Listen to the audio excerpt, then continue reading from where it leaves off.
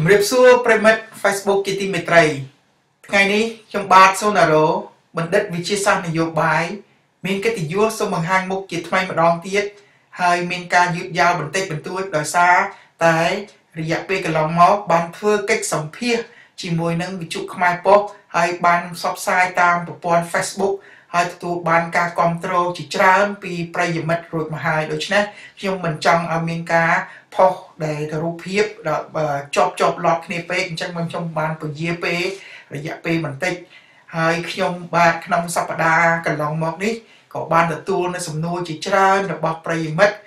Facebook ហើយជាពិសេសគឺជំវិញដំណើរទស្សនកិច្ចរបស់លោកនាយករដ្ឋមន្ត្រីកម្ពុជាទៅប្រទេសវៀតណាមកំពុងតែនៅប្រទេសវៀតណាមនាពេលបច្ចុប្បន្ននេះ តែជាបឋមខ្ញុំសូមធ្វើការចាប់អារម្មណ៍យ៉ាងខ្លាំងទៅលើចលនាមហាបដកម្មរបស់យើង កំពុងតែមានព្រៀបយ៉ាងខ្លាំងក្លា ដែលធ្វើឲ្យរង្គោះរង្គើធ្វើឲ្យកក្រើកមេឃកក្រើកដី របស់កម្លាំងមនុស្សដ៏ច្រើនដូចសមុទ្រមនុស្សដូចជាស្រមោចមកពីណាចេញមកគ្រប់ទាំងអស់ហើយជាពិសេសចុងក្រោយនេះគឺការគប់ផ្សំយ៉ាង ខ្លាំងនៃកម្លាំងបាតកោជាមួយនឹងបងប្អូនកម្មករកម្មការិនីខ្មែរដែលចេញមកធ្វើបាតកម្មពីសឹងតែគ្រប់រោងចក្រនៅជុំវិញរាជធានីភ្នំពេញក៏ដូចជានៅខេត្តស្វាយរៀងខេត្តកំពង់ស្ពឺខេត្តកំពង់ចាមខេត្តកំពង់ឆ្នាំងខេត្តកណ្ដាលធ្វើឲ្យកម្លាំងមនុស្សបាតកោកាន់តែកើនឡើងយ៉ាងខ្លាំងក្លាហើយនេះគឺជាដំណឹងដ៏ល្អណាស់ដែលធ្វើឲ្យ យើងកាន់តែមានជំនឿកាន់តែមានសង្ឃឹមទៅលើជ័យជំនះចុងក្រោយរបស់យើង ដំណឹងនេះគឺជាដំណឹងដ៏ល្អអស្ចារ្យណាស់ហើយយើងឃើញហើយជាពិសេសថ្ងៃ22ដែលចុងសប្តាហ៍កន្លងមកចំនួនមនុស្សជាងកន្លះលានអ្នកបានចេញមកពេញទីក្រុងភ្នំពេញអញ្ចឹងយើងត្រូវតែយល់ថាពន្លឺ នៃសេចក្តីសង្ឃឹមរបស់ចលនាសង្គ្រោះជាតិគណៈបកសង្គ្រោះជាតិនឹងឈានទៅដល់ជ័យជំនះនៃវគ្គផ្ដាច់ព្រាត់នៃដើមឆ្នាំថ្មីនេះ គឺពិតជាមានយ៉ាងច្បាស់កាន់តែច្បាស់ឡើងកាន់តែច្បាស់ឡើង ហើយខ្ញុំឃើញមេដឹកនាំយើងដោយការខិតខំប្រឹងប្រែងយ៉ាងខ្លាំងតាំងពីខែកក្កដាឆ្នាំ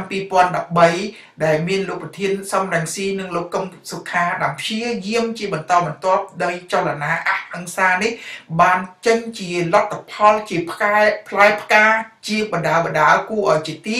គប់ចិត្ត ទោះបីលោកទាំងពីរមានការហត់នឿយយ៉ាងខ្លាំងហើយយើងឃើញហើយលោកប្រធានសំរងស៊ីក៏មានការស្អកក៏បន្តិចហើយ តែយើងធ្វើយូរយ៉ាងណាក៏ដោយកម្លាំងនៃ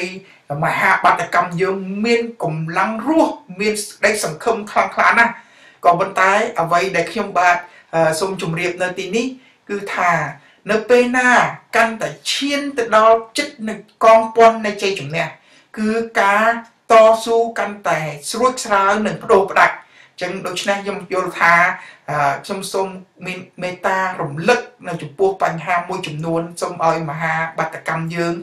ថ្នាក់ដឹកនាំគណៈបកសង្គ្រោះជាតិសូមមេត្តាមានការប្រុងប្រយ័ត្នគឺទី1យើងត្រូវដឹងហើយលោកហ៊ុនសែនកំពុងបំពេញទស្សនកិច្ចនៅប្រទេសវៀតណាមហើយយើងដឹងហើយឆ្នាំ1997ខែកក្កដាថ្ងៃទី4 កក្កដា1997លោកនាយករដ្ឋមន្ត្រីហ៊ុនសែនក៏បំពេញ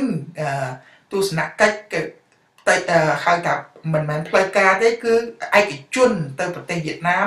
ហើយមកពីប្រទេសវៀតណាមថ្ងៃ4ក៏ថ្ងៃ5ព្រឹត្តិការណ៍ខែកក្កដាឆ្នាំ1997 កើតឡើងការបាញ់បង្ហូរឈាមគ្នាយ៉ាងសាហាវរវាងកម្លាំងគ្រប់គ្រងរបស់លោកនាយករដ្ឋមន្ត្រីហ៊ុនសែនជាមួយនឹងកម្លាំងគ្រប់គ្រងរបស់លោកនាយករដ្ឋមន្ត្រីទី1សម្ដេចក្រមព្រះនរោត្តមរណរដ្ឋអញ្ចឹងហើយលើកនេះក៏ដូចនេះដែរនៅពេលដែលលោកហ៊ុនសែនកំពុងតែបំពេញទស្សនកិច្ចនៅប្រទេសវៀតណាមលោកហ៊ុនសែនបានឆ្លៀតជួបជាមួយនឹង មន្ត្រីជំនាញការវៀតណាមជាច្រើននៅទីនោះចឹងខ្ញុំជឿថាអាចមានការសួរយោបល់មានបញ្ហាក៏ដូចជាស្ដាប់អំពីការផ្សព្វផ្សាយព័ត៌មានក៏ដូចជាការវិភាគសភាពការនានាធ្វើឲ្យលោកហ៊ុនសែនដែលកំពុងតែវង្វេងវង្វាន់ជាមួយសភាពការបច្ចុប្បន្នមិនដឹងដោះស្រាយតាមទិសដៅនោះអាចបានទទួលពន្លឺនៃ វិធីសាស្ត្រនៃការវិភាគរបស់ភាគីវៀតណាមដូច្នេះហើយយើងត្រូវយល់ថាបើសិនជាយើងកំពុងតែតាមដានមើលគាត់មកត្រឡប់មកពីប្រទេសវៀតណាមវិញគាត់អាចមានវិធានការថ្មីឬក៏អាចមានដំណោះស្រាយណាថ្មីឬក៏មានអឺគំនិតណាថ្មីក្នុងការដោះស្រាយបញ្ហានេះឬមួយក៏គាត់ប្រើវិធានការក្តៅកគុកដើម្បីដោះស្រាយក៏អាចថាបានដែរអញ្ចឹងយើងត្រូវមានការប្រុងប្រយ័ត្ន ហើយយើងឃើញហើយជាក់ស្ដែងគឺថាគណៈបកសង្គ្រោះជាតិក៏បានអឺចេញសេចក្តីប្រកាសឲ្យមានការប្រុងប្រយ័ត្នចំពោះអង្គើដែលហៅថាស្វាស៊ីបាយហើយលៀបមាត់ពពែនេះមានន័យថាគេញុះញង់គេបង្កើតចលាចលបង្កើតបញ្ហាមួយចំនួនដើម្បីឲ្យមានឈានទៅដល់អង្គើហឹង្សាយើងឃើញហើយអឺក្រុមបាតកម្មរបស់ប្រសង់មួយចំនួនគេឲ្យសង់ខ្លាំងខ្លាយទៅគប់ ដុំថ្មដើម្បីបំបែកកញ្ចក់នៅមុខសាលាក្រុងភ្នំពេញ ការចាក់សម្រាមរបស់ក្រុមហ៊ុនស៊ីនទ្រី ការធ្វើអំពើញុះញង់ដតីទៀតធ្វើយ៉ាងណាឲ្យកម្លាំងបាតកោរបស់យើងនឹងមានប្រើអំពើហិង្សាបន្តិចបន្តួចដើម្បីគេមានលេសក្នុងការចេញទៅបាញ់បង្ក្រាបអញ្ចឹងហើយការអំពាវនាវរបស់គណៈបកសង្គ្រោះជាតិសូមឲ្យមានការ ប្រកាន់ធម៌អហិង្សាជានិច្ចនិរន្តរ៍នេះមានសារៈសំខាន់ណាស់សូមឲ្យបាតកោយើងទាំងអស់ខិតខំធ្វើយ៉ាងណាកុំចាញ់បោកអំពើញុះញង់ណាឲ្យមានអំពើហិង្សាដែលអាចឈានទៅដល់ការអឺបង្កើតចលាចលឡើងសម្រាប់ឲ្យអាញាធមមានលេសដើម្បីបញ្ចេញកម្លាំងកងទ័ពទៅបង្ក្រាបពីព្រោះយើងដឹងហើយកម្លាំងកងទ័ពចេញទៅបង្ក្រាបនេះ លោកហ៊ុនសែនអស់លទ្ធភាពក្នុងការប្រើប្រាស់កម្លាំងតូចតាចហើយកម្លាំងតូចតាចមិនអាចបង្ក្រាបសភាពការបានទេអញ្ចឹងហើយខ្ញុំកំពុងតែមានការតាមដានមើលថាតើគាត់មាននិន្នាការក្នុងការប្រើកម្លាំងតបដ៏ធំរាប់ម៉ឺននាក់ក៏ជាមួយនឹងកម្លាំងប្រដាប់អាវុធដែលខ្ញុំឃើញកំពុងតែចល័តជាច្រើនចូលមកទីក្រុងមានទាំងរថក្រោះមានទាំងរថពាសដែកហើយមានទាំងកម្លាំងនេះនេះដើម្បី ទប់ស្កាត់ក៏ដូចជាត្រៀមរៀបចំការបង្ក្រាបដែរឬទេអញ្ចឹងយើងត្រូវតែមានការប្រុងប្រយ័ត្នជាមួយនឹងច្បាប់អាជ្ញាសឹកបើសិនជាអាជ្ញាធរដាក់ច្បាប់អាជ្ញាសឹកចេញមកមេដឹកនាំគណៈបកសង្គ្រោះជាតិត្រូវតែមានផែនការចាប់ពីពេលឥឡូវនេះដើម្បីទប់ទល់ឲ្យបានទទួលជោគជ័យជំនះជាមួយនឹងច្បាប់អាជ្ញាសឹកហើយព័ត៌មានខ្លះដែលខ្ញុំទទួលបានទោះបីជា มันមានជាការពិតក៏ដោយក៏គួរតែយើងមានការប្រុងប្រយ័ត្នដែរគឺមានអឺមន្ត្រីខំកងកម្លាំងប្រដាប់អាវុធបានឲ្យខ្ញុំដឹងថាអឺកងកម្លាំងមួយចំនួនដែលត្រូវការទៅបានបណ្ដុះបណ្ដាលពិសេសគេអាចធ្វើការវាឆ្មក់ដើម្បីចាប់ខ្លួនមេដឹកនាំសំខាន់សំខាន់តាមទ្រឹស្ដីរបស់គេគឺអឺពោះ គេកាត់ក្បាលពោះដើម្បីគេបង្ក្រាបចលនារបស់យើងអញ្ចឹងហើយគេអាចចាប់កម្លាំងមេដឹកនាំរបស់យើងចំនួនសំខាន់សំខាន់នោះហើយយកជំលះទៅណាបាត់តែទោះបីទីមិនធ្វើបាបមិនសម្លាប់ឬក៏មិនអឺហៅថាបង្ករបួសអីទេតែ ជាវិធីសាស្ត្រមួយដើម្បីគេធ្វើឲ្យមហាបាតកម្មរបស់យើងបាត់បង់ជាមួយនឹងមេដឹកនាំសំខាន់សំខាន់នោះនឹងធ្វើឲ្យចលនារបស់យើងមានការវង្វេងទិសដៅឈានទៅដល់រលាយក្បួនតាមយុទ្ធសាស្ត្រនិងយុទ្ធវិធីរបស់គេនោះចឹងហើយទូកវែងដំណឹងនេះមិនមែនជាដំណឹង ពិតក៏ដោយក៏ប៉ុន្តែគួរតែមានការប្រុងប្រយ័ត្នដែរហើយសូមឲ្យបងប្អូនប្រជាពលរដ្ឋខ្មែរជាមួយនឹងការដើរក្បួនជាមួយនឹងមេដឹកនាំយើងក៏ដោយក៏ត្រូវតែមានការប្រុងប្រយ័ត្នក្នុងការកែងលោគេមានអង្គើវិធានសនាណាលើមេដឹកនាំរបស់យើងយើងចូលរួមចំណែកក្នុងការទប់ស្កាត់ក៏ដូចជារំដោះថ្នាក់ដឹកនាំយើងឲ្យចាកចេញពីតំបន់ដែលមានអសន្តិសុខទាំងនោះចឹងការប្រុងប្រយ័ត្នកែខ្មែរយើងនិយាយថា ប្រហែលបាត់ប្រយ័ត្នគង់ដូច្នេះហើយយើងចិត្តឈានទៅដល់ជ័យជំនះហើយយើងគួរតែមានការប្រុងប្រយ័ត្នឲ្យបានខ្ពស់ជានិច្ចដើម្បីធ្វើយ៉ាងណាការជោគជ័យជំនះរបស់យើងឈានទៅដល់ហៅថាលទ្ធផលចុងក្រោយដល់ត្រចះត្រចង់អញ្ចឹងការធ្វើដំណើររបស់លោកហ៊ុនសែនទៅប្រទេសវៀតណាមនេះក៏ខ្ញុំឃើញគួរឲ្យចាប់អារម្មណ៍នៅចំណុចមួយទៀត ហើយក៏ជាសារមួយប្រមានទៅដល់មេតបទាំងឡាយណា ដែលបាញ់បង្ក្រាបលើប្រជាពលរដ្ឋខ្មែរនោះគឺអឺលើកនេះជាការគួរឲ្យចម្លែកនៅត្រង់ថាទស្សនកិច្ចរបស់លោកនាយករដ្ឋមន្ត្រី មានចុះហត្ថលេខាទៅលើសន្ធិសញ្ញានៃការធ្វើបច្ចុប្បន្នរវាងប្រទេសទាំងពីរហេតុអ្វីរវាងប្រទេសទាំងពីររហូតដល់20 30ឆ្នាំមកហើយมันមានសន្ធិសញ្ញាបច្ចុប្បន្ន ហេតុអ្វីជាមួយប្រទេសថៃជាមួយប្រទេសឡាវយើងមានបច្ចុប្បន្នតែជាមួយវៀតណាមម៉ោងនេះទៅតែចុះនេះគឺជាសញ្ញាមួយបញ្ជាក់ថាវៀតណាមគេមិនទុកចិត្តថារដ្ឋាភិបាលហ៊ុនសែនអាចនៅយូរបានតទៅទៀតទេ ពីព្រោះថាបើសិនជារដ្ឋាភិបាលហ៊ុនសែននៅយូរគេមិនចាំបាច់មានសន្ធិសញ្ញាបច្ចុប្បន្នទេពីព្រោះកន្លងមកឲ្យតែមានពួកវៀតណាមណារត់មកប្រទេសកម្ពុជារដ្ឋាភិបាលកម្ពុជាចាត់បញ្ជូនទៅឲ្យប្រទេសវៀតណាមដោយមិនចាំបាច់មានសន្ធិសញ្ញាបច្ចុប្បន្នក៏ដោយចំណែកឥឡូវនេះរដ្ឋាភិបាលវៀតណាមប្រហែលជា មានការបារម្ភថាថ្ងៃណាមួយរដ្ឋាភិបាលសង្គ្រោះជាតិឡើងកាន់អំណាច ហើយមានមន្ត្រីរបស់វៀតណាមឬក៏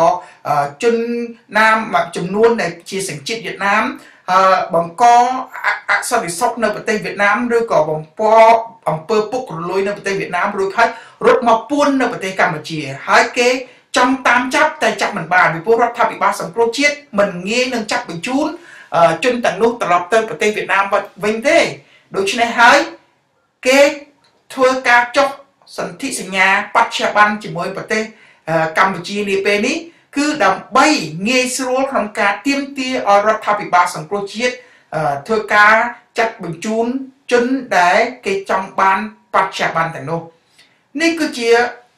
បញ្ហារវាងប្រទេសទាំងពីរគឺគ្មានអីខុសទេអញ្ចឹងជាក៏ជាសារមួយ ប្រមាន សម្រាប់ដល់មេតបទាំងឡាយ អស់លោកបើបង្កអក្រិតកម្មបាញ់សម្លាប់ទៅលើបាតកោអស់លោកសង្ឃឹមថារត់ទៅពួនជ្រកនៅប្រទេសវៀតណាមដើម្បីរត់កិច្ចខ្លួនពីអក្រិតកម្មដែលអស់លោកបានបង្កឡើងនោះឥឡូវនេះនៅប្រទេសវៀតណាមក៏លែងជាជំរកដ៏សុខសាន្តរបស់អស់លោកទៀតហើយ អស់លោកកុំភ្លេចថាសន្ធិសញ្ញាបច្ចុប្បន្ននេះមានទៅមានមកមានន័យថាខ្មែរយើងអាចចាត់បញ្ជូនមន្ត្រីទាំងឡាយរបស់វៀតណាមត្រឡប់ទៅវិញវៀតណាមក៏ត្រូវតែមានកាតព្វកិច្ចចាត់បញ្ជូនមន្ត្រីឬក៏ទាហានមេតបទាំងឡាយណាដែលបង្កអ ுக ្រិតកម្មប្រឆាំងនឹងមនុស្សជាតិត្រឡប់មកប្រទេសកម្ពុជាដើម្បីទទួលការផ្ដន្ទាទោសដែរ ដូច្នេះហើយខ្ញុំសូមឲ្យអស់លោកត្រូវគិតគូរមែនទែនអំពីផលប្រយោជន៍របស់ខ្លួនឯងដោយខ្ញុំបាននិយាយសម្ភារក្នុងវិទ្យុខ្មែរប៉ុស្តិ៍កន្លងមកហើយគឺថាច្បាប់អន្តរជាតិគឺគេមិនអនុញ្ញាតឲ្យយើងរួចខ្លួនទេ ទោះបីជាមានបញ្ជាណាក៏ដោយมันអាចសំអាងទៅលើបញ្ជានោះដើម្បីយករួចខ្លួនខ្លួនឯងបានទេខ្លួនឯងឲ្យតែទទួលបញ្ជាដើម្បីរំលោភសិទ្ធិមនុស្សក៏ខ្លួនឯងត្រូវតែមានទោសរឿងនេះរឿងច្បាស់លាស់ណាស់ហើយទោសអក្រិតកម្មប្រឆាំងនឹងមនុស្សជាតិនេះគឺជាទោសអមតអមតៈហើយគ្រប់ប្រទេសទាំងអស់គ្មានប្រទេសណាអាចទទួលអស់លោកជ្រកកោននយោបាយបានទេចឹងអស់លោកត្រូវមានការប្រុងប្រយ័ត្នមុននឹងបើ ធ្វើអំពើណាមួយដើម្បីវាយបង្ក្រាបទៅលើក្រុមបាតកោអស់លោកត្រូវយល់ថាខ្មែរកំពុងតែផុសឡើងខ្លាំងណាស់កន្លះលានអ្នកបាតកម្មហើយខ្ញុំជឿខ្ញុំជឿហើយជឿទៀតថានាថ្ងៃចុងសប្តាហ៍នេះជាពិសេសគឺថ្ងៃ29ខែធ្នូនេះគឺមានបាតកោខ្មែរយើងគួបសំកម្លាំងមកអាចឡើងដល់1លានអ្នក មួយលានអ្នកចូលពេញទីក្រុងភ្នំពេញយើងដឹងហើយមិនងាយវេបង្ក្រាបទេអស់លោកគុំអាងយកកម្លាំងឬក៏យកអំពើប្រៃផ្សៃណាមកវាបង្ក្រាបនោះគឺជាការខុសឆ្គងធ្ងន់ណាស់ហើយគុំយកខ្លួនយើងទៅបៀតជាមួយនឹងអំពើអក្រិតកម្មទាំងឡាយដើម្បីលៀបសក្ការៈរបស់អ្នកដតីណាយើងត្រូវតែយល់អំពីបញ្ហាហ្នឹងហើយបើសិនជាអស់លោក ដែលថារៀនសូត្រទៅតាមប្រទេសឥណ្ឌូនេស៊ីទៅ នៅពេលដែលប្រធានាធិបតីស៊ូហាតូបញ្ជាឲ្យមេតបមួយចំនួនដើម្បីចាត់វិធានការបង្ក្រាបបាតកោដែលជាយុវជននៅទីក្រុងយ៉ាកាតាឆ្នាំ1998មានមេតបជាច្រើនបានសុំច្បាប់ទៅព្យាបាលជំងឺទៅសម្រាកនៅប្រទេសក្រៅដើម្បីកិច្ចវេះកុំឲ្យ អនុវត្តតាមបញ្ជារបស់ស៊ូហាតូអញ្ចឹងមេតបខ្មែរយើងក៏គួរតែគិតគូរដល់ខ្លួនឯងហើយអស់លោកកសាងគេឈ្មោះកសាងអនាគតមានលុយមានកាក់អីច្រើនណាស់ឲ្យលោកមិនត្រូវលងខ្លួនជាមួយនឹងទុកអូក្រិតដើម្បីរលាយអស់នៅអនាគតក៏ដូចជាបនស័ករបស់អស់លោកទេខ្ញុំ នឹងរំលឹកនេះគឺក្នុងមនោសញ្ចេតនានិងបំណងល្អហើយខ្ញុំរំលឹកទាំងរហូតដល់លោកនាយករដ្ឋមន្ត្រីជានិច្ចការខ្ញុំអំពាវនាវឲ្យគាត់ចុះចេញពីតំណែងដោយកិត្តិយសដោយសេចក្តីថ្លៃថ្នូរដែលនៅក្នុងវិទ្យុខ្មែរប៉ុស្តិ៍ខ្ញុំបាននិយាយហើយចុះចេញពីតំណែងរបស់មេដឹកនាំផ្ដាច់ការមានតែ4យ៉ាងទេទី1គឺចុះចេញដោយកិត្តិយសនិងសេចក្តីថ្លៃថ្នូរទី2ចុះចេញដោយជាប់គុក ទី3ចុះចេញដោយរត់ចោលស្រុកហើយគ្មានថ្ងៃវិលត្រឡប់មកវិញហើយទី4ទៀតគឺចុះចេញដោយអណោចអធមបំផុតគឺចុះដោយត្រូវគេសម្លាប់ចោលទៀតហើយខ្ញុំមិនចង់ឃើញទស្សនវិជ្ជាទាំង3ទេខ្ញុំមិនចង់ឃើញខ្មែរណាសម្រាប់ខ្មែរតទៅទៀតទេខ្ញុំចង់ឃើញខ្មែរ អនុវត្តលទ្ធិប្រជាធិបតេយ្យផ្លាស់ប្ដូរមេដឹកនាំចរន្តជារឿងធម្មតាសូម្បីមេដឹកនាំថ្មីក៏មិនអាចមានឱកាសណាកាន់អំណាចយូរដូចលោកហ៊ុនសែនបានទៀតទេពីព្រោះគណៈបកសង្គ្រោះជាតិបានសន្យាច្បាស់ចំពោះមុខប្រជាជាតិខ្មែរហើយគឺមិនអនុញ្ញាតឲ្យមេដឹកនាំណាកាន់អំណាចលើកពី2អាណត្តិឬក៏10ឆ្នាំឬក៏8ឆ្នាំដែលពីអាណត្តិនោះទេទេ ហើយខ្ញុំសុំថាសូមបីតែរដ្ឋធម្មនុញ្ញយើងក៏គួរកែអាណត្តិមិនគួរដល់មាន5ឆ្នាំទេនៅប្រទេសគេទូទៅអាណត្តិមានតែ4ឆ្នាំហើយមានតែប្រទេសខ្មែរយើងទេដោយសារមេដឹកនាំគាត់ធ្វើច្បាប់ហើយគាត់ឃើញថាយកចំណេញនៅរយៈពេលបំរើរាជតែតាមពិតរយៈពេលពុករលួយរបស់គាត់ចឹងគាត់ពជាអាណត្តិរហូតដល់5ឆ្នាំអញ្ចឹងយើងគួរតែកាត់បន្ថយមកត្រឹមតែ4ឆ្នាំបានហើយដើម្បីឲ្យពេលវេលាកុំឲ្យវាយូរពេកបើជ្រុលថាយើងដឹក យើងជ្រើសរើសបោះឆ្នោតជ្រើសរើសមេដឹកនាំណាមួយខុសហើយ